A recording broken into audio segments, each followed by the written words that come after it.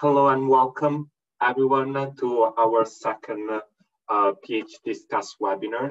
Uh, today's topic uh, is, uh, is loneliness uh, an inevitable part uh, of the um, of a PhD. so I'll start by sharing my screen as well. Okay. Hopefully everyone can see it. So um, as I was saying, today's topic is loneliness, uh, uh, an inevitable part of a PhD.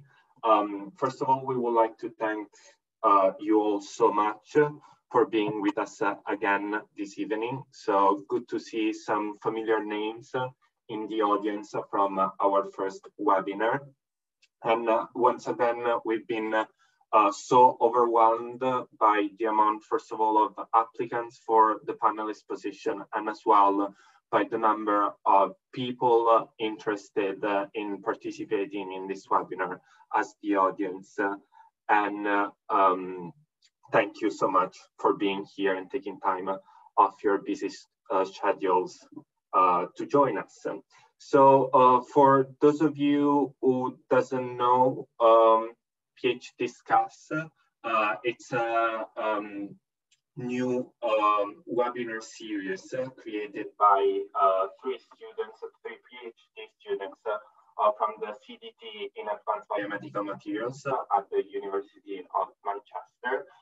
These three students are Leona Ogene, um, Robert Bagley, and myself, Davide Verdolino. And the aim of this webinar series is uh, to create a comfortable uh, and safe uh, um, environment uh, to discuss sensitive topics related to equality, diversity, and inclusion within the uh, research community that may affect uh, PhD students um, during their doctorate. and um, we aim to provide advice um, and ideas uh, on how to uh, tackle these issues. Uh, today we have uh, a diverse panel of researchers with us uh, to share personal experiences uh, from their academic journey. And our panelists will be discussing whether loneliness is actually an embedded part of a PhD or is it something that um, is um, from that arise from the um, academic uh, environment. Uh, before I introduce the panel, uh, I'd like to go over some quick housekeeping. So for those of you who haven't already done so, please remember to turn off your camera and microphones. Also to be able to see the panelists um, all on your screen, you can um, hide non-video participants. So you just click on the arrows uh, uh, with the camera, go on video settings, and then toggle on uh, hide non-video participants. And uh, as well, select gallery view um, in your options uh, in the top right corner of your screen. Uh, so you can see all of the people involved in the panel when we start this discussion. Um, also, please feel free to use the chat box, box uh, um, to send in your questions or comments. Uh, um, but uh, be careful that the chat is closed during the uh, discussion, so the panelists won't be able to see your uh, messages.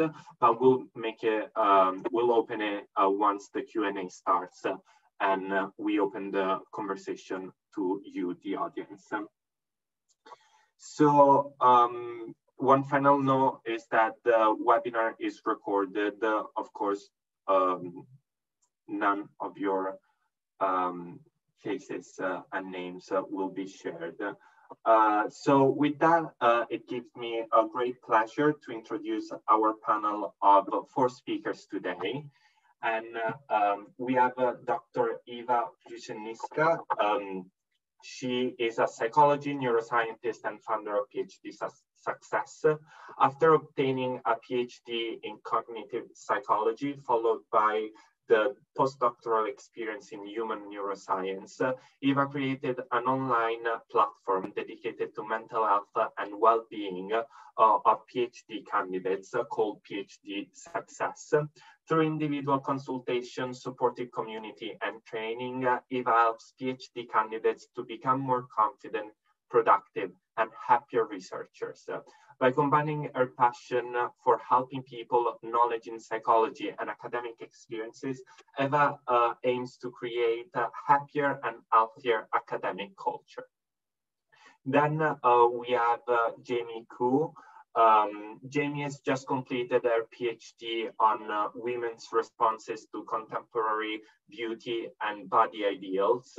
Uh, having been actively involved uh, with PGR community throughout her PhD, she has now started her own PhD coaching and training consultancy to help researchers deal uh, with the messier part uh, of the PhD process and discover more joyful, peaceful ways of working. She believes strongly in the importance of community throughout the PhD journey and has started the Messy PhD Facebook group to offer researchers greater support, friendship, and training. Um, then we have uh, uh, Christ Billy Aryanto. Um, an amateur musician who loves science uh, is how Billy describes himself. He's a first PhD uh, candidate uh, with research on music and executive function, fully funded by the Indonesian Endowment Fund for Education. Back in his country, he is a lecturer in the Faculty of Psychology at Atma Jaya Catholic University of Indonesia. And last but definitely not least, we have uh, Jamie Lee Jenkins. Uh, Jamie is an external PhD candidate at Radboud University in the Netherlands and the University of Sheffield. Jamie's academic work investigates popular expectation uh, of democracy in Great Britain between the end of the Second World War and the 1980s. Uh, her work focuses uh, on the media, specifically tabloid newspapers, uh, um, popular participation, and uh, democracy. Jamie's key research interests uh, are British political culture in the post-war period, the interaction between me, the media and politics, and the social history of Britain in the latter half of the 20th century. Uh, with that done, I uh, welcome Ewa um, Jamie Khoo, Jamie Jenkins, uh, and uh, Billy. First of all, thank you all for uh, taking the time to discuss this very important topic uh, and uh, um, mostly considering the global situation that we're currently living. Uh, it's been great working with you all and learning from your experiences. So I'll now hand over to um, Leona who will be moderating uh, the discussion part uh, of today's webinar. Hello, Leona, thank you. Hi, everyone. Thanks so much for joining us today. As Davide said, we're really excited to have this webinar and really excited to hopefully help you all and give some advice that you'll find useful today. So feeling lonely and feeling isolated during your PhD is a really common and normal reaction to the setup of most, um, most PhD programs. However, despite being a common feature of the PhD experience, feelings of loneliness and isolation are rarely discussed openly in the academic environment. So in the wake of COVID-19, social isolation caused by social distancing measures, university closures and travel bans have left many of us students feeling more lonely than ever as the tools that we used to use to combat loneliness, like societies and face-to-face -face lab group meetings, are no longer available to us. So today, we've come together to make a space to openly discuss the impacts of loneliness on us as PhD students and what can be done to help manage this. So before we jump into the webinar, into the discussion portion, I'd like to start by getting you guys in the audience involved with a poll. So this should be popping up on your screens right now. And our first poll question is, do you think loneliness is an inevitable part of a PhD? So we'll give the answers at the end of, after the first question. But I'd also like to put this question to our panelists.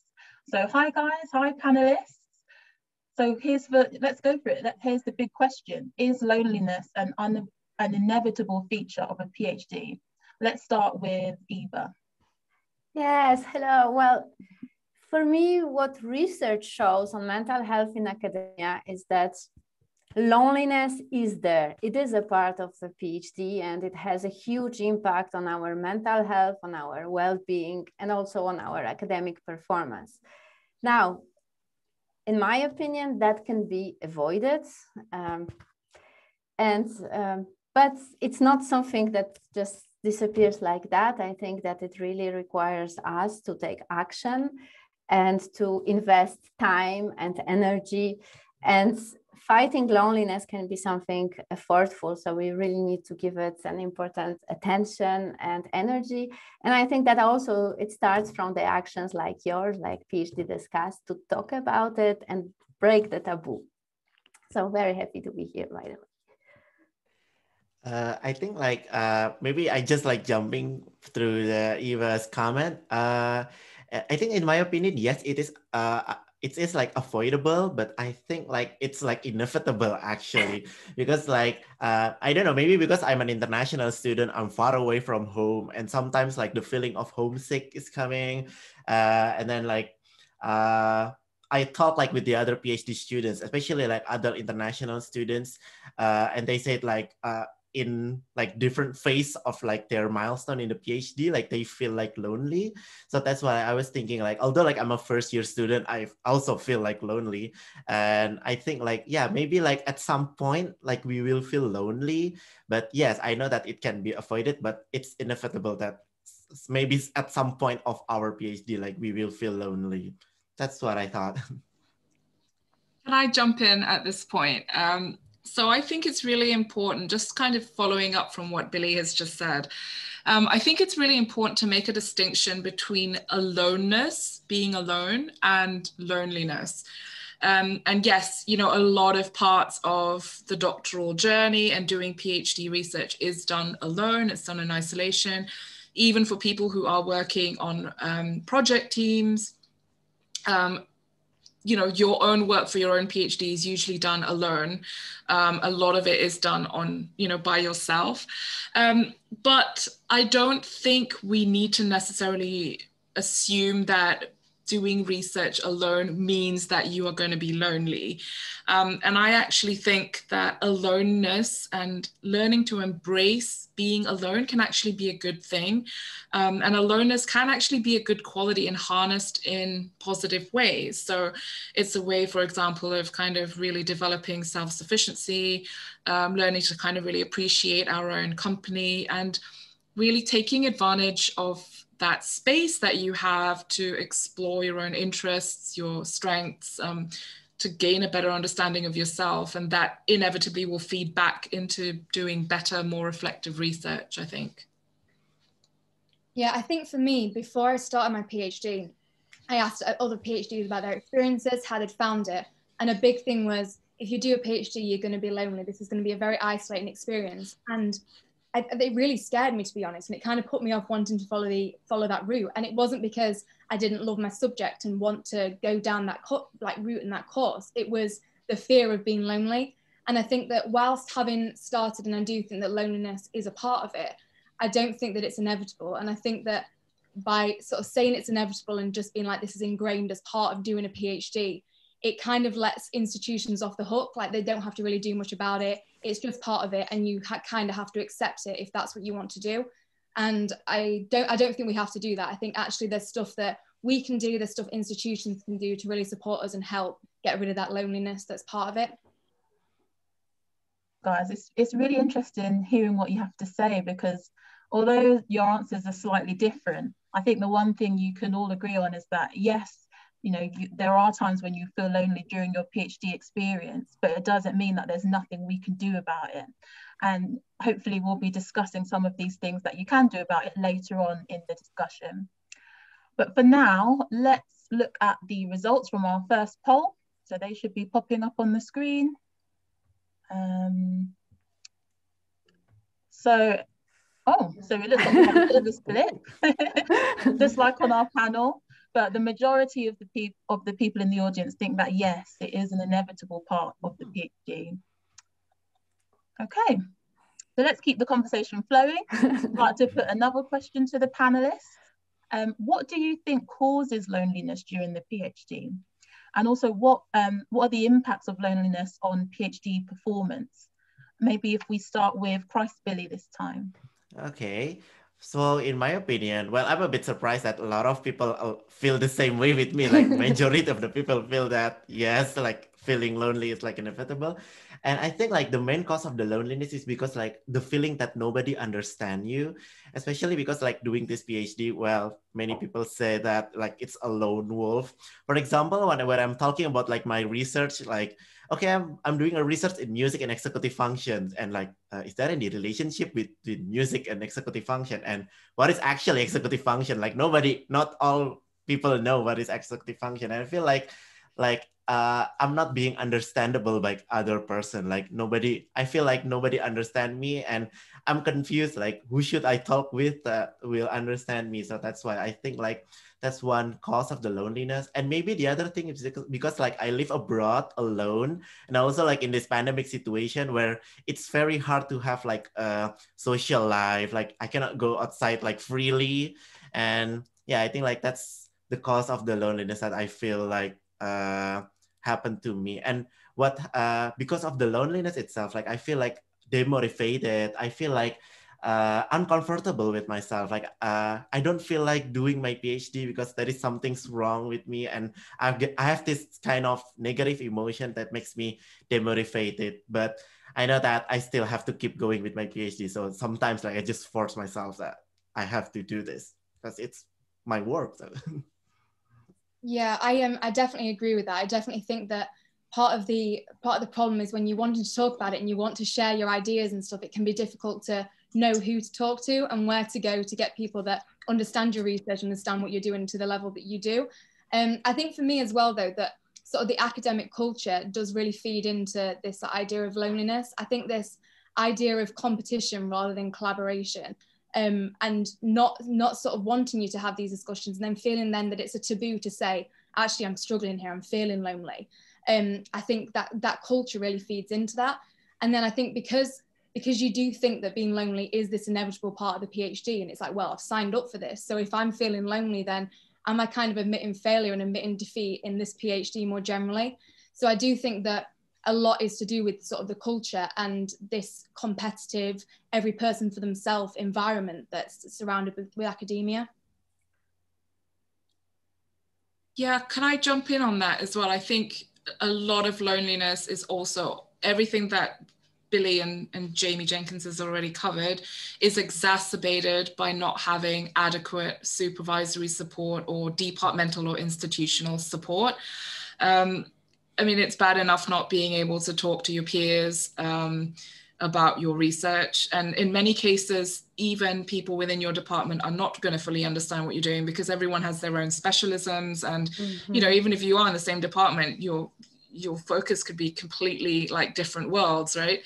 Um, and I think it's even worse if, and this is something I've heard a lot from from colleagues, from peers, as PhD students that I've worked with, um, the greatest sense of loneliness, I think, is also not getting support from the very person who should have your back, who is your supervisor, um, and not, you know, not being understood by them either. And I'm not just talking about being understood in, in the sense of your academic work, um, but also just being understood as a, as a person, you know, what you're going through in that journey. Um, and a lot of supervisors don't take the, that time or that or invest that effort to understand what is going on in that student's life um, which can feel then really alienating because then you know whatever is going on in your life is impacting what's going on in your research. And if there isn't anyone that you can really talk to about that and trust that they have your back um, that's going to stall your progress in terms of your academic work. You know, if things aren't going right in your life, they're not going to go right in your work either. So I think it's really about having that that level of support from sort of higher up. So it's not just peer support, but adequate institutional departmental and supervisory support as well. Mm -hmm. Yeah, well, okay, maybe I I will jump in as well just to summarize because actually everything that you have said, I am fully with you and I totally agree. And when I was actually creating uh, a PhD success community, so the online community actually to fight with loneliness, I came back really to the beginnings, to the reasons why we feel so lonely during the PhD. And I came up with four reasons, and actually you you just said it here. So one of them is like lack of understanding of the topic of what is PhD from our family, from our old friends. I think that this is extremely frustrating. And that was my case as well. Like everyone was very proud that I'm doing PhD, but no one knew what I was doing exactly then the other thing is also like uh, isolation in your lab, the competition. So that can be due to the competition, due to the academic culture, due to also the atmosphere that your supervisor may set up for you. Uh, but also simply isolation by the or loneliness by the topic because sometimes like very often it's you and your research and sometimes very often actually we're working on very very specific things so by itself it can be um, isolating because we cannot share the same methods or discuss the results. Then the other thing that I also feel sometimes is the geographical isolation. So PhD students that are the only PhD student at the laboratory, or they are like extremely far away in a very small universities where there is no academic community, PhD community. And then uh, yet another, I think, very important factor is also time. We also need to invest time in to build friendships, to build relationships.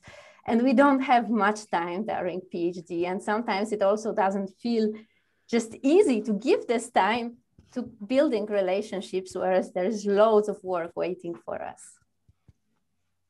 Thanks, guys. I was actually, I was smiling and smiling and laughing along a bit when you guys talked about being misunderstood or people not understanding like your family members because I'm a first gen PhD student and talking about with my my PhD with my family members doesn't really go much beyond I'm in the lab today because they're not going to get it. So I could definitely relate to that.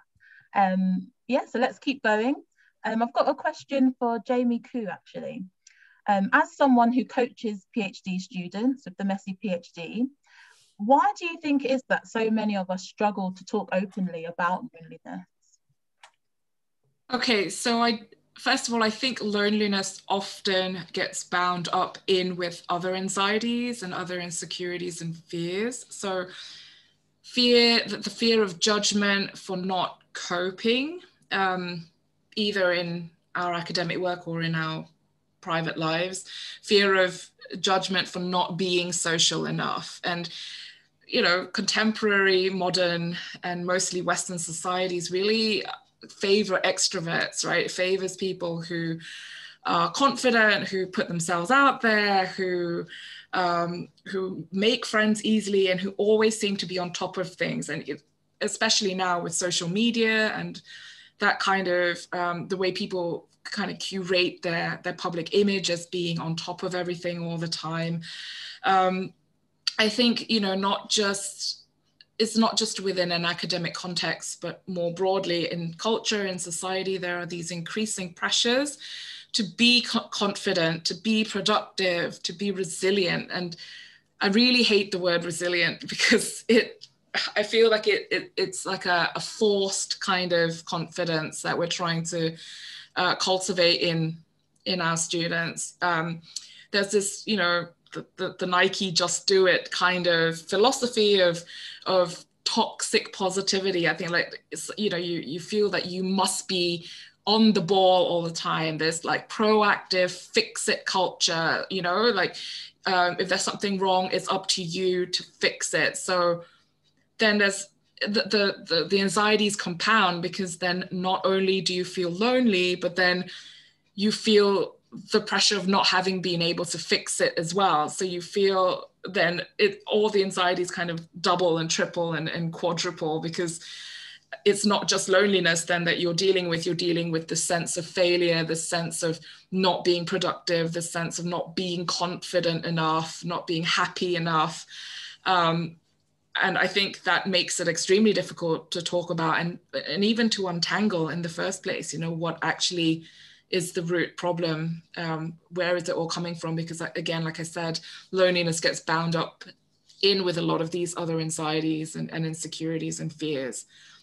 And, and society and, and culture itself doesn't really encourage that kind of um, vulnerability and, and being able to talk openly about these issues because you know you're kind of told to just love yourself empower yourself just do it you know how um, yeah i think i think that's really why it is so difficult to talk about yeah i definitely it is definitely something that is hard to talk about i mean i'm a i'm a I'm speaking as a moderator on this panel. I've definitely had times where I felt lonely over the past year. And looking back, I don't think I've spoken to anyone about it. So it's good that we're able to have this discussion here today. Yeah, absolutely. Yeah, even in lockdown, you know, you see lots of things of like people talking about, oh, well, I've picked up this skill and I'm doing this thing now and I'm doing lots of Zoom like champagne nights with my friends. And and so you know that's good. It's good to like to see that people are coping with it in different ways but then it does also inadvertently put pressure on you to be doing the same thing when actually all you want is to have a little cry and be able to tell someone that you're lonely you know mm-hmm. and and thinking about it now just as my own difficulties about speaking about this i'm just thinking of you know christ billy as the male panelist on this webinar how it may be if it's difficult for me as a woman is there a is there a is there a further difficulty for men specifically to speak up about the admission of loneliness? Um so i put that to christ billy actually. Do you think okay. there are difficulties specifically for men speaking up on this issue Okay, I think like uh in my opinion, like because like there is like this expectation that male should be tough, male should be like strong, and I guess like sometimes like talking about like their feeling, it shows that you are vulnerable, and I think like that is not that is not something that is favorable on male. So that's why I think like for male sometimes like it it is like harder to for us to uh share like our feeling, and sometimes like when I talk with my friends, uh uh what they said is like you should like embrace like your loneliness and you should just keep going on like working on the uh working on your phd instead of like thinking about like your feeling. And i think like that's not good because like i think like we should embrace our feeling first. We should feel comfortable with ourselves first before we can actually work with our phd and i think like that is i don't know maybe it's part of my culture like because like in indonesia i feel it that way like male should be like tough or something or maybe i don't know it's like male stuff that we uh it's not something that we usually tell what we feel. So yeah that's what i think what's what makes like men uh harder to say about like what they feel yeah, it's interesting that you brought um, the cultural element in there and, you know, about how a man should feel or should portray himself, because I'm sure there are many different cultures that we have in the audience today who will relate to this, you know, this cultural struggle of speaking openly as a man about how you feel about things. Um, but I think it's time for our second poll to make sure the audience are, are still there, still engaged. So that should be popping up on your screens now. And the question is, do you feel comfortable talking about loneliness with your peers? So we'll have those results later. So the C word has come up a few times already in this discussion, COVID-19. And I think it would be impossible for us to have this webinar on loneliness without acknowledging the impacts of COVID over the last year or so. So a recent study by Dr. Fei Fei Bu from the Department of Behavioral Science and Health at UCL found that being a, being a student was a higher risk factor for loneliness during lockdown than usual. So for the PhD students on the panel, Christ, Billy, and Jamie and Jamie, how has COVID-19 impacted your PhD life in terms of loneliness and relationships? So um, so I started my PhD during lockdown. So we started in September. Um, so it's kind of just defined my whole PhD experience so far. So I've, I mean, the table that I'm sat on now is where I'm eating my tea. It's where I'm doing my PhD work. Like this has pretty much been it. Um, so yeah, it has been difficult and it has been quite lonely. Um, so my PhD is based at Radboud University, which in in the Netherlands. And unfortunately, I haven't been able to go yet, so I've not been able to meet my team, which um, which has been really difficult. And luckily, I'm part of a fantastic team, and we have like weekly Zoom meetings, and we like contact each other as regularly as possible. But it, it's difficult without having that sort of in-person contact, without being able to bounce ideas off each other, and just just not so you just sat on your own in a room all day. It's having having a little bit of difference, having conversation. So yeah, it has it has been a challenge. I think not only in terms of not being able to access the archives, not being able to go out, but but your mental health as well is that that has been really difficult. And i think that i've struggled to get motivation a lot of the time um, and normally so during my masters that motivation would come from having these conversations and talking to people about this. And it, ha- it has made it very difficult to do that. So although i've found like things to do during covid so obviously like online meetings have been great but the Zoom fatigue is real. And sometimes it would just be nice to be able to go for a coffee with someone and not be talking over a computer screen. Um, but I like, I've enjoyed, I enjoy the work and I enjoy the content of my PhD, but it's definitely tainted my experience. I think it's such a shame that this first year will kind of be defined by being stuck inside and being very isolated. Yeah, I think like I feel the same way with Jamie because like I also started like last October, which means like I also started during the pandemic. And unfortunately, I have to start my PhD like from Indonesia, which is like a seven hours time difference from the UK. And I think like it's very hard because uh, because of the time differences. I mean, like when all of the people like in the UK are still working, I'm I'm like preparing to go to sleep actually, but I but I have to adapt with like the timetable because uh, my supervisor is really supportive and she's like uh, okay i can just like uh, adapt with your schedule so i can have like the meeting like uh, in the in the morning uh, in the morning UK time, which is like the afternoon in the Indonesia time.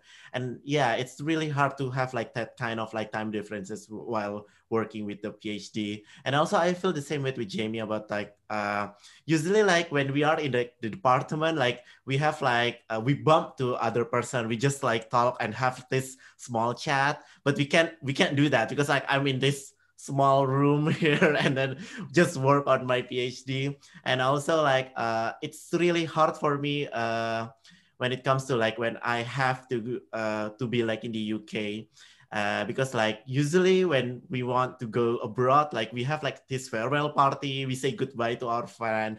But unfortunately can i cannot have this proper goodbye with my friends. And then i remember like i just sent the message when i was in the airport and and, and send it like hey i'm in the airport. Like uh, i'm going to go like soon. Like oh yeah sorry we cannot go, be there. Like well that's good because of this pandemic. Like you shouldn't be outside. Like you cannot go with me.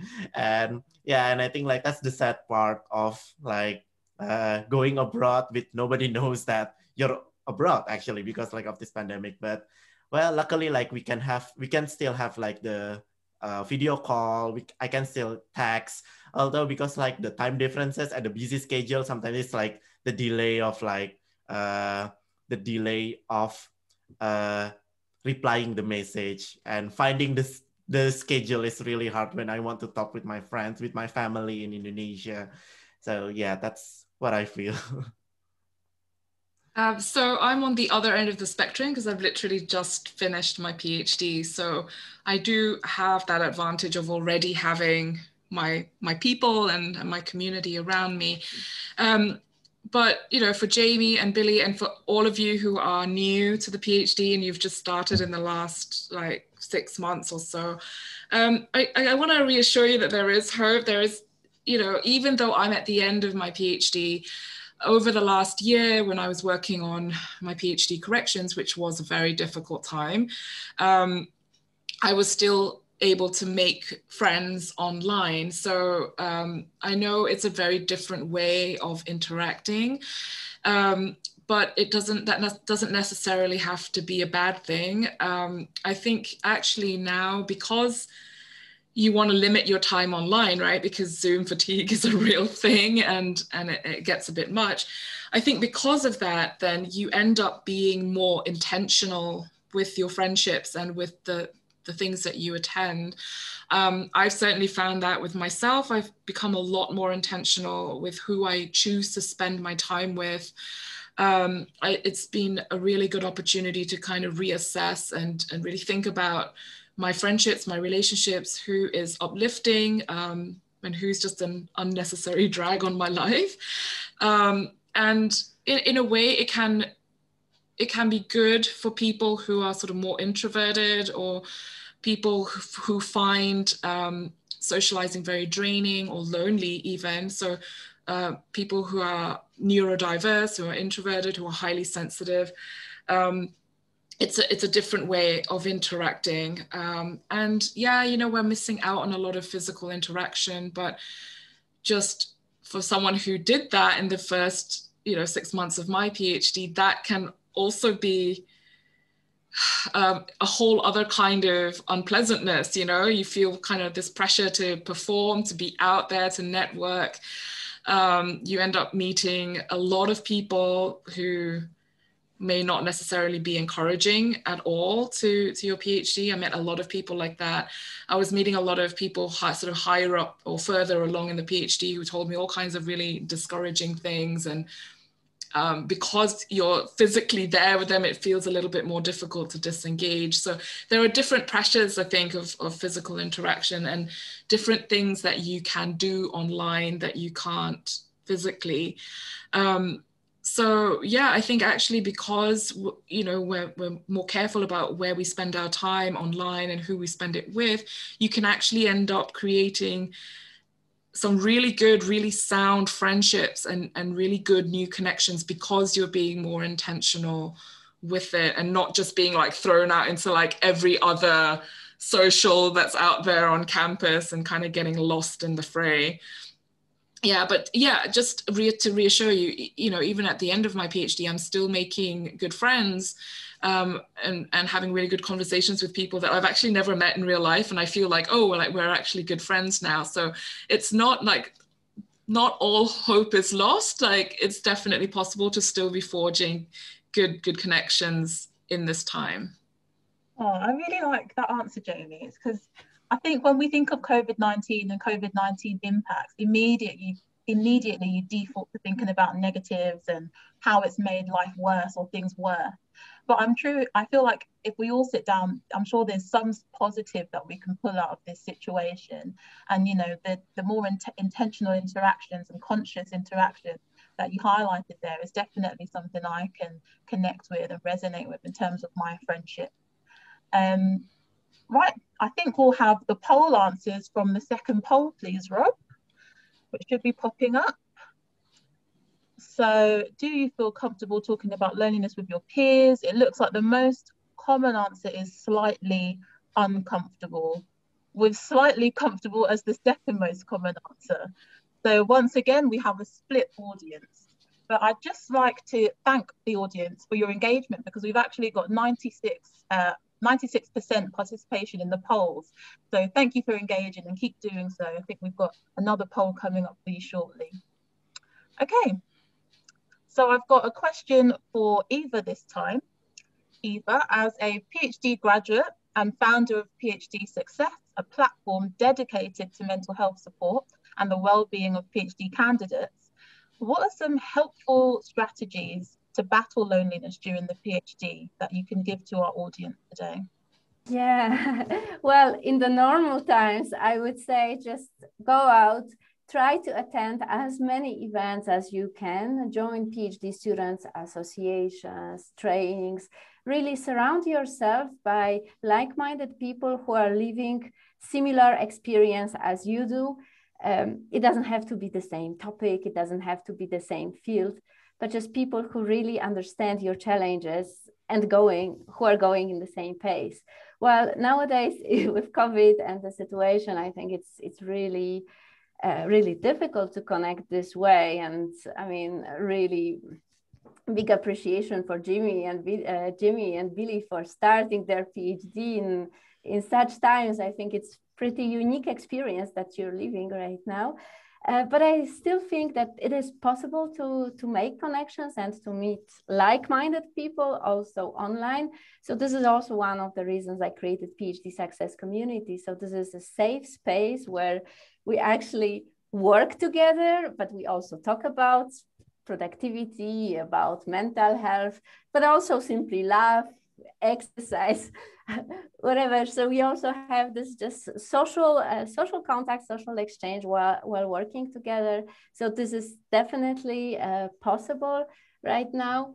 Another technique that I would also like, well, technique, a point to highlight here is also to maintain your past relationships, your relationships with your friends, with your family, who do not have PhDs necessary and who will help you in the future to put your PhD also in a perspective. And they are also your support. They are also there for you not to feel lonely. And uh, and yet another um, and yet another important point is that our life is not only PhD limited. So it's also very important to nurture our hobbies and our non-PhD identity. So I will also encourage you to find another group of people, friends, uh, who will share a similar hobbies. So for example, me, I did online dancing classes and that was really fun. And I also met new people. So I think it's more important like to have one link, something in common so you can share it and also surround yourself this way. Yeah, it's funny because as you mentioned the you know online communities, I was thinking about um, you guys on the panel, and actually, Ewa, you and Jamie, I met through an online Facebook group for PhD support for PhD for support for PhD students, and right. Jamie um, Jenkins as well. I knew through Instagram, so definitely I've got a point to highlight there for our audience. Online communities are great for support networks and, and speaking to people who will understand what you're going through. Um, let's open this up to the rest of the panel actually. Um, to the rest of the panelists, what are some helpful strategies you found to battle loneliness during your PhD? I think um, I really like Ewa's point about like sort of that nourishing the you outside your PhD. I think that's been really, really important. And uh, a lot of it has been uh, me having to like push myself out of my comfort zone a little bit because doing everything over Zoom and online feels very awkward. It feels quite unnatural. And joining any like new club or starting anything new is daunting enough anyway. But I think doing it online and having that that challenge there that your Wi-Fi might not work or that something might go wrong is just a whole other stress. So I think that it's been like really pushing yourself out of the comfort zone. But I've tried to join like uh, book clubs, like online yoga classes, um, like my gym have set up like online classes. So it's just been really trying. And even though some nights after you've been on your computer all day, you're like, I, I really can't be bothered. Like I do not want to go on Zoom and have another Zoom meeting. It's it's putting yourself out there and doing it. And I've found that be, that's been really, really helpful. Um, I also think that a big thing for me is just having like these candid conversations. So being able to talk like this, being having a team that I'm able to talk to about this. Um, luckily, I've got a supervisor who I'm able to openly discuss these feelings with. And I just think that being honest about how I'm feeling has been massive because knowing that other people are in the same boat and knowing you're not alone in feeling lonely really does help sort of alleviate a lot of that. Um, I do think though a lot of the like emails and stuff that you get at the minute is like, go outside for walks, make banana bread, and I think that it gets to a certain point where like don't feel that you can't then seek help. If these things aren't aren't enough then it's there's options and routes that you can go and you can seek help and get support for it. Um, and it's not just it's not just on you going out for a walk and doing things. There are other avenues you can take if you do need that support yeah, and I uh actually like I like what Jamie said because like uh, I also feel the same way. Like uh maybe because like we just started like in the same phase in this uh, middle of the pandemic, and I agree. I also agree with Ewa talking about like uh like we should do like we should embrace like activities like outside like our PhD because I uh, as as uh, as like Davide has mentioned like I'm a musician I play the music and also like it helps me a lot actually to do my hobby and to do what I like and talking with other friends. I'm making like small kind of like phd support group which is like with my friends and we always talk about like some things like outside like our phd and also like for my personal actually my personal top tips is like uh, during this pandemic like i like to do like the mindfulness meditation. And i think like it's really helpful because like by doing like mindfulness meditation like we uh, we can like evaluate like ourselves like we can reflect what happened with ourselves. Like uh, if there is like a hollow feeling in our heart like we can feel it when we're doing like this mindfulness meditation and we acknowledge that. We we don't we uh, we don't like abandon it but with but we acknowledge that we cope with that and after we finish like we finish with ourselves and uh, i feel like i feel calmer after i do the mindfulness meditation. I can just I feel like less lonely afterward. Or maybe like if I feel really lonely, I just like contact with my friends and ask them like, okay, I just want you to listen to me. Like I don't need solution. I just need someone to listen to me. And I think like that way of co- coping is like uh, really helpful for me to uh, to go through this loneliness phase and especially like during this pandemic, which is really hard actually. So yeah.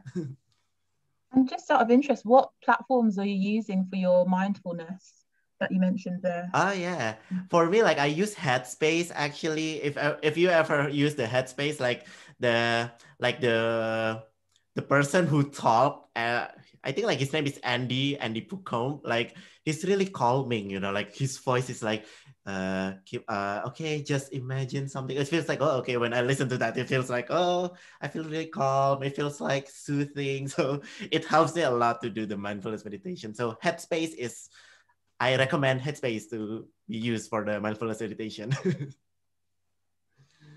Um, I, I wanted to jump in. Um, this is something kind of a little bit different from what's already been said.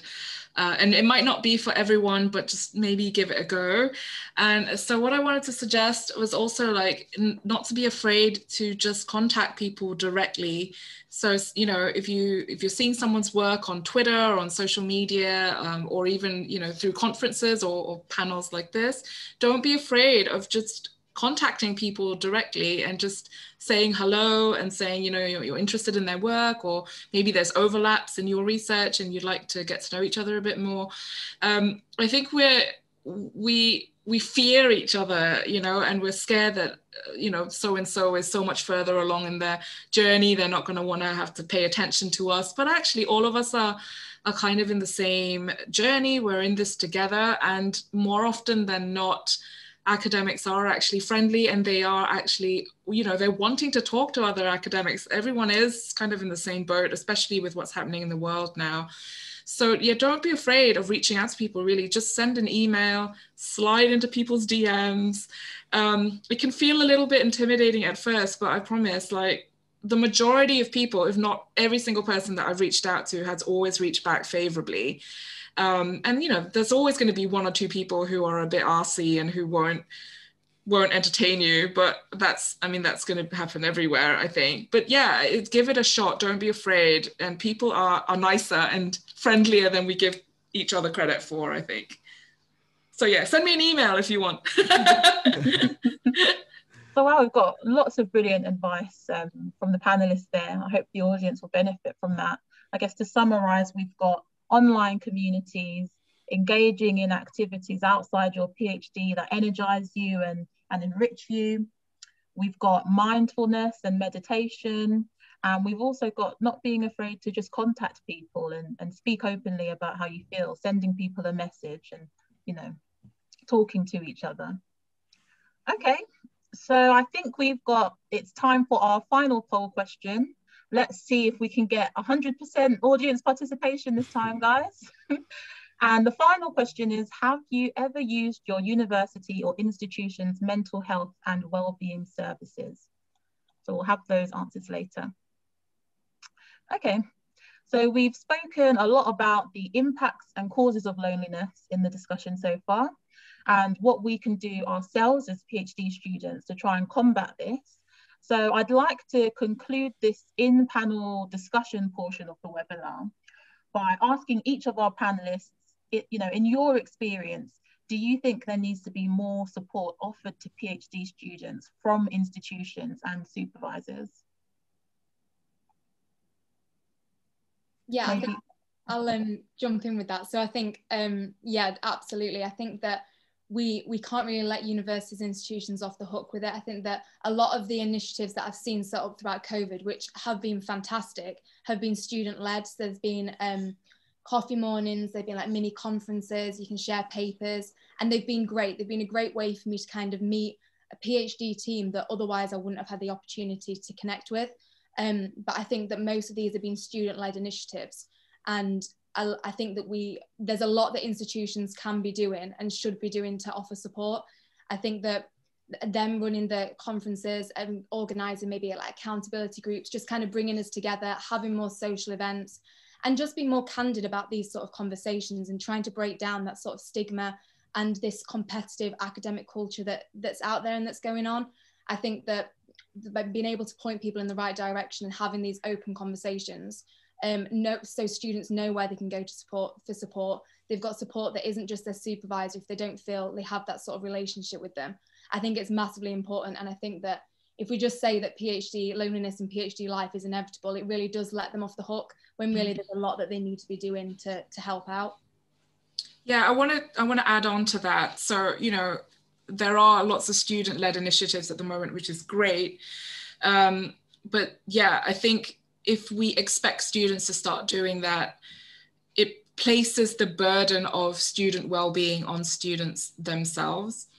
Um, and also you know how confident or supported students feel to be able to create those kinds of events or activities or to speak up about their needs um, does start by the kind of culture of the departments and the institutions and, and the project leads that are that kind of oversee them you know uh, remember that there are going to be a lot of people who are more introverted and who will not feel as confident or able to initiate or even to join events. And I think that culture, fostering that culture of togetherness, of community, really has to be set by the departments, by, by higher up.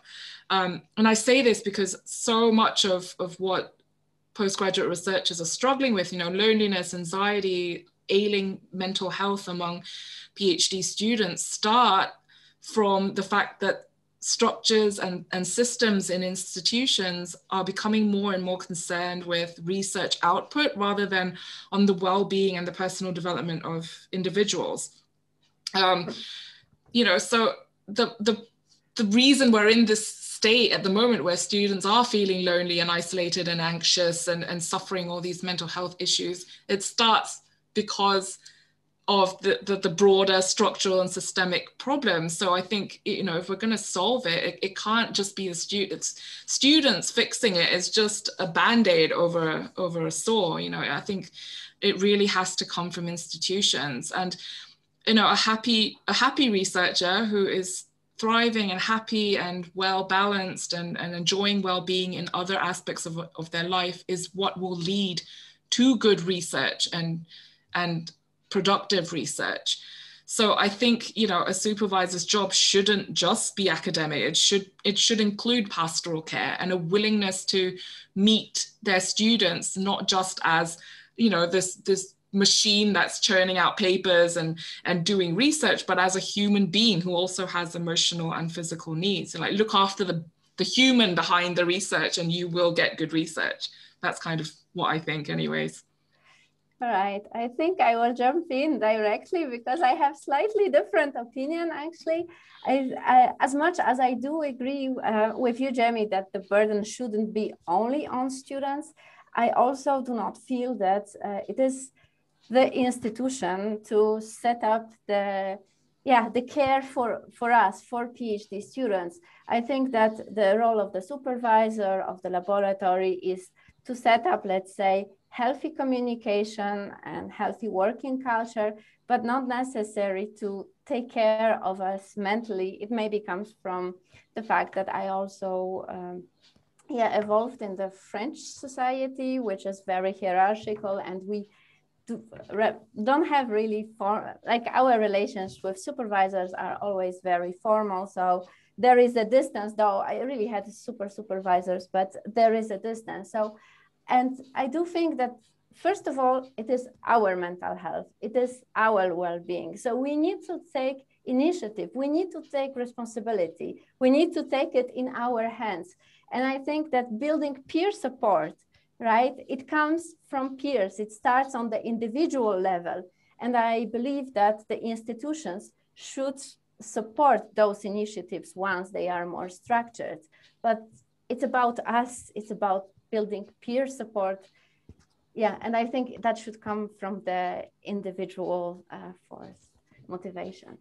Yeah i think like uh, uh, coming from like what Ewa said i think like I, I feel like i think that is like a different academic culture like in different country maybe because like uh, uh back in here like in the university of sheffield i feel really lucky that in the department of psychology in sheffield like it's very supportive like the environment is very supportive. Like the postgraduate society which is like what jamie and jamie said about like it's student led so they have like this coffee morning every week, and we we also have like a coffee morning with uh, the staff like every every two weeks, like a bi-week bi-weekly meeting. And I think like it's really helpful, especially for me, which which is like very new, who is like very new in the uh, department. I don't know any of the lecturer, and then that helps me to understand like okay so this person is doing this and this is the lecturer in the department of psychology and i think like uh, that's what i feel because like when i'm thinking back like back in indonesia there's a voice because uh thinking back like to indonesia like i think like it's a bit different culture which is like yes as uh ewa mentioned like it's a bit hierarchical. So it's like yes they have to maintain their own like well-being. Uh maybe like the supervisor will ask but then like they have to be like professional with their own mental health. So i guess like yeah i think uh, every culture is has got like a different academic culture. And as uh, Jamie Khoo has said, like it's uh, it's, a systemic way and uh, i don't know like which one is better but uh, in my opinion like i'm comfortable with my current with my current situation because my even my supervisor is very supportive with my own well-being. And i remember like in the first day of my uh, of my PhD, like my supervisor make me like uh, some kind of like welcoming party, which like every people, uh, every people in the lab just come and then we can talk like informally and we can talk about like our hobby, talk about like our daily life. So we're not always talking about like uh, the we're not always talking about our PhD, our uh, study, our research, but we also talk about like our interests. And yeah, for me, like it, it is fun to have this kind of culture actually. Thanks, Christ Billy. I think, you know, on that topic, it seems like you all had slightly different opinions and different perspectives, but maybe the you know the thread that ran through all of your answer or the the thing that unifies your answers is the idea that it's not on one group or one person to to de- to defeat loneliness. You know it's something that takes input from everyone to, to make sure that students are supported and and not struggling in that way. So i think we'll have the answers from the last poll question now to see what the audience thought. Um, they should pop up on your screen shortly. The final poll questions? Yeah. Okay, so it looks like the majority of people have said no they haven't used the university's institution or mental health and wellbeing services. Um, okay, that's interesting. I thought it would might be higher that people had, but hopefully people have been able to use this as a tool for support then instead. Okay, so that brings us to the end of our panel discussion. I'd just like to say thank you so much to all of our panelists today, you know, for sharing your experiences and giving advice. I know talking about loneliness and admitting to being lonely is, you know, it's a sensitive topic and it's not one that's that's easy to, to admit openly. So thank you so much for, you know, being vulnerable and being open and talking with us all today. I think um, in, in terms of the audience, if there's one message, there's there's lots to take away. But if there's only one thing that you're able to take away, it's it's please don't feel that you can't talk about your loneliness, or please don't feel that you can't talk to people you know, we're all going through the same experience in different ways, but we're all connected in the sense that we're all doing PhDs and we understand what each other are going through sometimes. So please feel confident to speak up. And if you are struggling, speak up. We'll actually be emailing out links for the university support offered by the universities of Sheffield, Manchester and York. And we'll also be emailing links to uh, Ewa's platform, PhD Success, and Jamie's platform, the Messy PhD, after the webinar. So if you want to access any of those services, they'll be sent to you. And um, we'll now move on to the Q&A session so we can hear from you guys, the audience. Um, I'll hand over to our questions moderator, Robert Bagley. Thanks, and hello everybody. Thank you for staying on until the end now. Um, for those of you who might have to leave on the hour, um, I might um, put our survey up uh, before you leave. Um, so I'll, I'll, submit that into the chat and we'd really appreciate it if you could fill that out for us. Um, but if you uh, if you don't need to dash off, then that's excellent. And we hope that you've come prepared with all sorts of questions for our panelists. Um, so um, as of now, members of the audience can ask questions um, to our panelists. Um, so you can ask a question verbally by uh, using the, the yes button on the participants panel to alert me. And then when I call your name, uh, feel free to unmute yourself. Um, but please remember to keep your camera off. Or you can submit your questions to the chat for me to read out to whom your question is directed. Um, so whilst you're, uh, Usher, we, we have, um, we already have some questions in. So I shall start with a question um, here um, from, from, I think they want to remain anonymous. Um, and I'm going to start with a comment here. Um, I think that there is a thin line between being able to be alone with your thoughts uh, with uh, interacting with others socially. The demands of the PhD may require one to be alone with their thoughts for a large part of the time, which others may read as leaving you to be alone over time. Over time, the balance between being with your thoughts and being socially active and accepted tilts towards loneliness. Is this is where it may become difficult to re-establish that balance for many PhD students um, and where they may need support. I don't know whether any of the panelists have anything to, um, to add, to those comments. Uh, Ewa, please yeah, go ahead. I, I would just say it's so beautifully said, and this is so true because yes when we are in our creative work in our phd like we also need space to think to you know grow in our thoughts but at the same time it can be very isolating and i remember myself when it was time for me like to write my phd to write my papers and then there were friends calling me or i even had my birthday that time and i just totally didn't feel like it because it was not even urgent yet to write it but it just didn't feel good because I had to do that. So yeah, I think that there is really a, a balance to find, and I think that this is really not easy. So something that I would really recommend you in future and that really saved my PhD also is having regular hobbies or regular activities that you do every week, let's say, that there is some strain, constraint, you know, subscribe yourself for a I don't know, for me, it was a dance class. And I tried to keep that one thing once a week just to be sure that, okay, I keep moving, but also that I go out and see people and I don't become a complete stranger. Uh, but it's a constraint as well. But I think it's it's very important to keep this balance. So almost like forcing yourself to keep the balance. Yeah, I, I absolutely agree with that. I always say, like, schedule in your rest time as if it's an appointment, and it's an appointment with yourself. Like, who could be more important than that? Um, and I think, you know, we are all highly intelligent people. We are, you know, if, to be in a PhD program, you you are someone who obviously can think at quite a high level. And I think that's almost like that can work to our disadvantage sometimes because then we sit there and we overthink everything, don't we? like, um, yes, yes, yes, I yes. feel that way. um, and then you know, and then we're, because we're creative, you know, we we we're taught, we're trained to be lateral thinkers to think of all different scenarios. Then we create all these monsters and scenarios in our head as well, right? So I mean, like what Ewa said, like really, I think schedule in that time to not be with yourself like schedule in that time to talk to somebody else.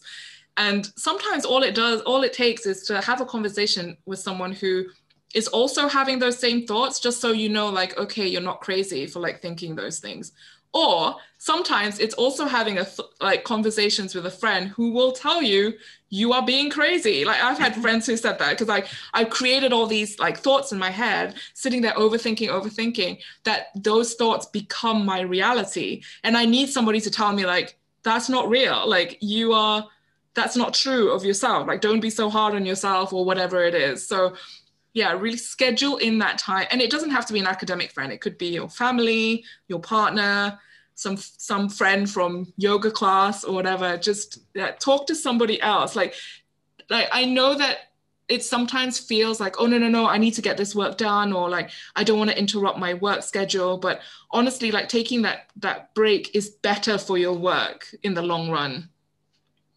So yeah, force yourself, make an appointment with yourself, schedule it into your Google Calendar and set reminders. wow, Jamie, like, Jamie, I feel real. I feel related with you, Jamie, because like I'm a I'm an anxious person, and like overthinking is like I think like it's my forte. Like I always overthink everything. So thank you for the tips. It's also good for me. thank, thank you. I don't know. I think, yeah. we'll, I think for the sake of time and getting everyone's questions in, I think we should move on to the, to the next one if that's all right. Um, so apologies for the pronunciation here. I'm going to try my best. Um, we have a question from Alex Kreschke uh, from Pranya Graduate Life Coaching. I'm sorry if I butchered your name there. Um, but uh, uh, his question is, are there certain individual traits or characteristics that make a person more likely to experience loneliness? And if so, how could PhD students use this knowledge? So I'll open that up to the panelists to answer. Uh-huh. Uh, so maybe like uh, I think like I, I will talk as an extrovert because like I'm a very extrovert person and I think uh, extroversion can be prone to the loneliness more compared to like introvert in my opinion because like uh, as an extrovert like my energy is coming from talking with the other person. But unfortunately especially during this pandemic like it's hard to communicate with the other persons. And sometimes like I also think that okay the other person is my friend is also struggling with their own problem and uh, i shouldn't like bother them or maybe sometimes like what happened to me is like when i talk with the other person like the other person talks more than me. So uh, i i want somebody to listen but unfortunately like they wanted to be listened more than me. So it's i feel like maybe like an extrovert person will be more prone to the loneliness compared to the introvert in my opinion. So yeah Thank you, Billy. Um, does any, anyone else have anything to add to that question? Ewa, is that your hand up? Yeah, yeah, if I can. Yeah, so I, I think that, you know, loneliness is a mental state. So uh, what does that mean? For example, for the people who experience long distance relationship, right? In the long distance relationships, well, you're not physically there with the person. Maybe you didn't even see the person for a month, for months but you know that the person is there. Maybe busy maybe not calling but it's there. Whereas where you're single and doing your phd and then you feel well potentially very alone. So i think that for me it's a it's a mental state. And we can also learn to control this mental state. So um, for me just knowing okay i feel lonely because those are the reasons. You can um, yeah, you can handle it better. And I think that as a PhD students, we do have many things in common. So for example, PhD students typically on the personality level I, are high achievers, for example, they are perfectionists. So we also set very high standards for ourselves, but also probably for our environment. Like we want to be listened, we want to be understood. Um, so I, I yeah, so I think that like I would say two techniques like always remember this comparison like you're not alone this is just how you feel right now because there is a bunch of people that care about you and think about you. They are just not there uh, with you. And the second thing is also yeah to expect less from from the others to be you know at your level. I don't know if i made it clear but thank you ewa. Um, i think we might, um, unless, unless any of the other panelists have got something to add. Um, okay, so let's move on to our next question. Uh, again, apologies for the pronunciation. Um, Dirangu Nungjiri um, has asked, um, it has been quoted that many divorces many divorces cases happen to PhD students if their partners do not understand. Uh, how is this statement true? Does anyone have any expertise on on divorce rates in PhD students? It's quite quite a niche topic. Yeah, I, I do know that in my laboratory, and it was like maybe a bit of an urban legend. I am not, uh, I, I didn't read in particular any research, but yes, indeed, like I saw in my lab, we were about 20 PhD students. Many relationships broke either during the PhD or shortly after. And like in my case personally, my relationship, it was long-term relationship, ended just after. And I think that there is really, you know, it's like one person that is doing her PhD and is like working, working and giving everything to the PhD. And then there is no balance because it's like this becomes more important. And then in my case, for example, I think, okay, the leisure, leisure, that will be after, my life will be after. So if you're in a relationship, I think that this is a challenge really to find the balance and to not put off your life after the PhD. Your life is also happening during the PhD. So there are also people who do have children during PhD who decide for it. And I think this balance is possible to find, though, yeah, I do believe that this is a challenge. Well, th thank you, Ewa. Um, we've received a question uh, from Adinda Rachmanto, um, who says, hi, thank you for the interesting talk. I'm also just starting uh, my PhD during the COVID situation, plus a very dark winter here in the northern part. I also started directly after graduating my master's in another northern country. The problem that I face right now is I'm constantly feeling tired. That's I just thought of seasonal depression, but uh, then now spring is already here. So also, um, so that also affected the research activities. Uh, I've been trying some suggestions that you mentioned before, but end up um, having not, not having enough energy to do it. Do you have any suggestions on how to target um, target target those issues? Um, I would like to suggest to first. I know this sounds really obvious, and I don't know if you have done this, but go and get a health checkup. Um, I was facing a lot of very similar issues in sort of my first or second year of my PhD. Um, and I was struggling with extreme fatigue and also insomnia. So like I could just never like resolve it. Um, and it, it, ended up being an issue with thyroid and that kind of thing. So like do first of all go and check that out. Um, secondly, this the sense of tiredness, I think is kind of something that does happen to people in the PhD. So again, you're not alone. And sometimes that exhaustion is kind of a mental exhaustion. I know I know over the last year, just working for two hours a day would completely exhaust me. And I really want to encourage you to, to lean into that rest, allow yourself the rest. Um, I think it can also get really tiring when you are trying to rest and deal with that exhaustion, but then you're feeling guilty about resting um, that can add to the tiredness. So you know, that's also something I'd really encourage to like when you are resting, like allow yourself to fully rest. Yeah, I would definitely agree with everything that Jamie just said. I think that um, it's okay saying like obviously go into the online classes, doing the coffee breaks and things, but sometimes like more is needed and they're like seeking help. There's like no shame in seeking help beyond going out for a 30 minute walk a day. I think that sometimes extra help is needed.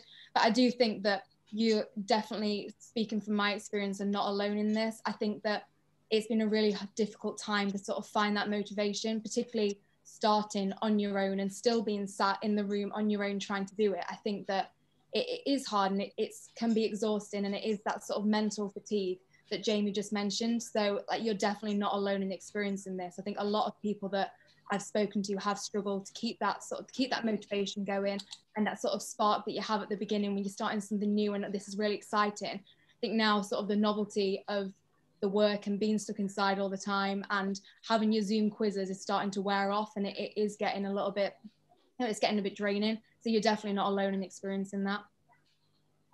Brilliant. Thank you, panelists, for all, all your very helpful advice.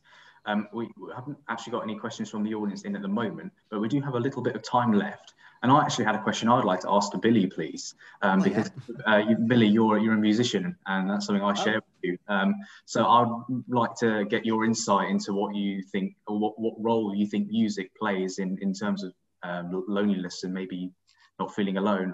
I'd really love to hear your insight on that. Okay, well, uh, actually, like I also do a research about like music and well-being, and I think like there is a lot of research saying that music is actually can alleviate like your well-being. It can increase that your well-being, uh, especially when you play the music. Well, actually, you can use the music but in two ways. Like you can play the music but if you're not a musician you can also like listen to the music sometimes like we choose the music like uh with the lyric that is very relatable with us. So it's like it's okay to find like uh, the music that is interesting that we like, and sometimes it's like a guilty pleasure music, but it's okay. Just like uh, use that, we we can sing to that, we can dance to that, and yeah, I think like at some point of my life, I think when I feel really lonely or not lonely, maybe when I feel like I'm demotivated, when I play like the music, I feel like, okay, uh, I can uh, I can do something actually. I still have my hobby and uh, it's really helpful actually to play the music. But I know that it's not for it's not for everybody because sometimes like uh, playing the music can be so evaluative too. It's like okay, I play the music, but it sounds it sounds really bad. Like uh, I'm not a good musician or something, but and it will it will be bad for your well-being. But just play and just don't think about it. Just express yourself, and I think like it's uh, the music, the power of your music is really amazing that it can help you. So yes, I, yes, I definitely agree. Music has a healing power.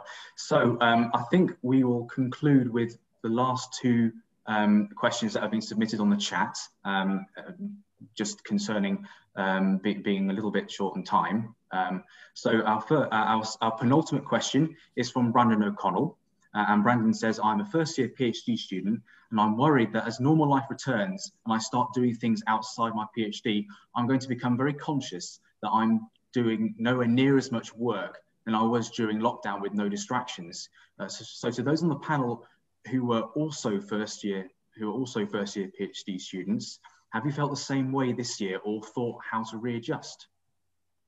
I think, um, like, yeah, I've definitely felt the same way. I've def- I feel like when I'm, uh, when I was at uni for my masters, a lot of it would be spent walking to and from the coffee shop, chatting with people, getting a coffee, and then being like, oh, it's okay, I've done like three hours work so far today, and half of it spent sat having a coffee. Um, but I do think that what what is really important and what I, I'm trying to remind myself is that we're so much more than just our PhDs. Like it is about that work-life balance. And when we are able to get out and have like have a social life again, uh, be able to go to coffee shops, be able to meet our friends, go out for drinks. I think that it's so important to have those moments of joy as well as have have work. And what I try and do, and I'm still trying to do it now. And granted, it is a lot more difficult because what I try and do is work my nine till five. But when at five o'clock you're still sat in the same place, it can be really tempting to be like, oh, I'll just finish another article or I'll just do this.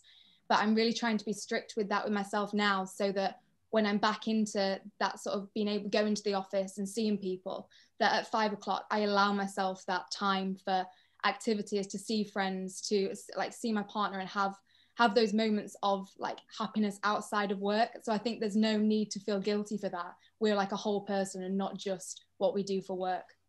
Yeah, uh, I think like I I also agree with that because when I did my master, I also I think like most of my time I'm in the cafe more than like I've been like uh studying like in the library. And also like in the cafe like actually we can still study like in the cafe. And I in my opinion like when there is like a culture shock there is always like a reverse culture shock.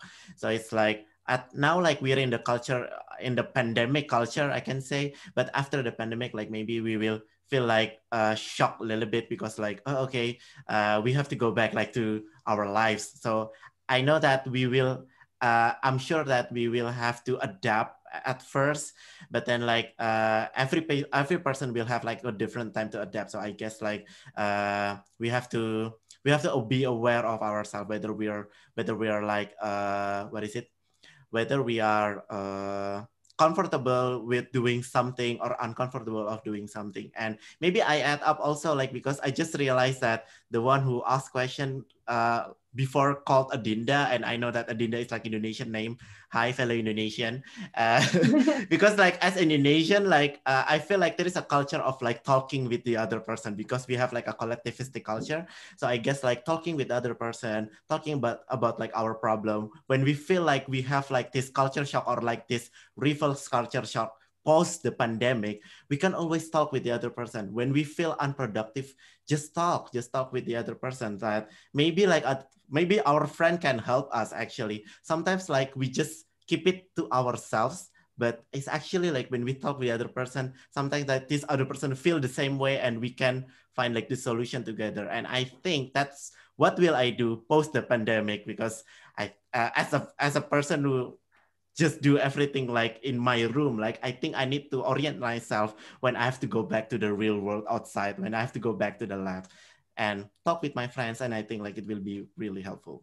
Yeah, Thank you. Can I just jump in just really quickly? I, I know very quickly. That, I, I, I, know. Time, I know that I'm not. I know that I'm not um, at the start of my um, PhD, but I just wanted to say that this this feeling of feeling that you're never doing enough work and, and kind of guilt for taking time off is something that PhD experience, uh, students experience through their PhD, like with or without a pandemic. So I don't know if it's helpful for you to, to just know that other people do experience that as well.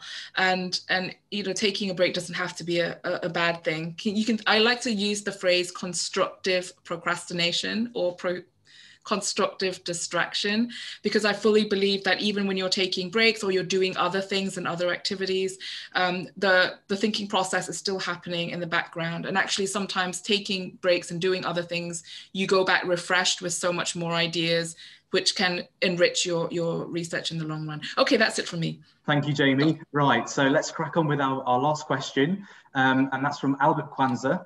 Um, and he asks, uh, what does the panel suggest for managing loneliness when you have another care or parenting duty while trying to take care of yourself as well? Oh yeah, that's that happened to me too actually. When I back in Indonesia, like I live with my parents and my parents uh well they can uh fortunately like they can still take care of themselves but i still as a children like i can i need to ask about like their days and like uh, ask about their something. And yeah and i think like uh, we need to in my opinion like we need this kind of like compartment whereas like okay this is the time for me to be alone. Okay this is the time for me to for with my parents. And i know that in the middle of it like sometimes like our parents like are uh we need uh like the urgent matters so we have to take care of them. And it's okay. And i think like having this kind of like the time compartment is really helpful. And sometimes like yeah it, it it's it is hard but then maybe like we need to work like at night when our parents sleep I know that this is like the sacrifice that we have to make, but I think like this is this will be really helpful because in my opinion, focusing our PhD for like three hours every day is like better than like uh we just do everything like we we do like the PhD as like our side side part where we're busy doing something for like hours and hours. And I think yeah, that's that's my suggestion, I guess. I'd like to just add on to that as well. Sorry, I'm really chatty today. Um, another thing, I don't have uh, parenting or care duties, but just from something that I've observed in um, colleagues of mine who, who do have parenting and, and care duties, is that um, you will establish your own work groove. I think over time you'll find what works best for you. And what I wanted to say most importantly is that don't feel guilty for your own um, work groove and for finding what works best for you. So don't compare to you know your colleague who's single and doesn't have any other responsibilities and can just focus like that's not helpful at all. Find your own work groove and just be okay with that. And secondly i, I did want to say as well don't be afraid to, to talk to the support that's available to you in your university. Um, some universities have like care carers networks and things like that who, who can give you additional support. Speak to your supervisor to let them know like what your sort of schedules are like and, and how you're able to work or not. Um, and that can be more helpful more sometimes than you know. Yeah, I, I think I thank you. I think we've got time for one last contribution, if that's all right, before closing up the webinar, please. So, um, who, who would anyone like to jump in on that? All right. Yeah. So maybe I can just say, yeah, that's what I have noticed also is that yeah, First of all, having other obligations like family obligations, it also gives us the notion of purpose. Okay. So it's like we have a higher purpose in life. So we have a purpose of becoming great researchers, doing our PhD, but also, yeah, having family, taking care of our pa parents, that brings balance to the equation. So this is, I would recommend you to see it as something positive overall. It also sets your time boundaries. So there is time for you to work and to work efficiently because your time is very limited. Whereas for people that do not have this obligation, uh, yeah, the time tends to extend or we tend to extend it. And then the other thing is also that maybe between your PhD and family obligations, there is the, place, the space, the time as a, as Billy said, a compartment that you would need for yourself. So this compartment is like a mental compartment, of course, but it also means maybe changing the place if it's possible in your country to go for a walk, for example, to be, you know, in a different place. In psychology, we also speak about having this third place. We have we have work, we have home, and we have something else. It can be just a short walk, but this space, let's say symbolic space for you to find, to reconnect with yourself. Thank you, Ewa, for finishing up that Q&A session. I'm just going to hand over to Davide to um, see the webinar to its conclusion. So thanks, Davide, and thank you, panelists, and thank you, audience. Well, thanks, Rob, first of all, for um, moderating the Q&A session. Uh, it looks like we have come to the end of this webinar. Once again, uh, thanks to all the audience for attending. Thanks for our wonderful panelists, um, Ewa, Billy, Jamie Khoo, and Jamie Jenkins, to taking the time to discuss this very important topic. And also one big thank you to the CDT in Advanced Biomedical Materials um, for giving us the opportunity to create PhDiscuss in the first uh, instance, uh, and to all the staff at the University of Manchester and Sheffield uh, to taking the time uh, and being available to share uh, this important uh, um, event. I will just share one last thing um, on the screen.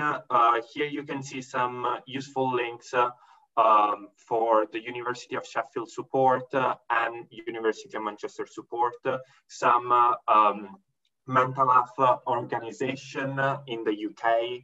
And also, if you scan this little uh, QR code uh, in the corner, you will um, have all the links uh, to our socials of PhDiscuss. So thank you again.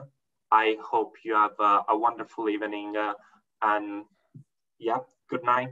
Thank you, everyone.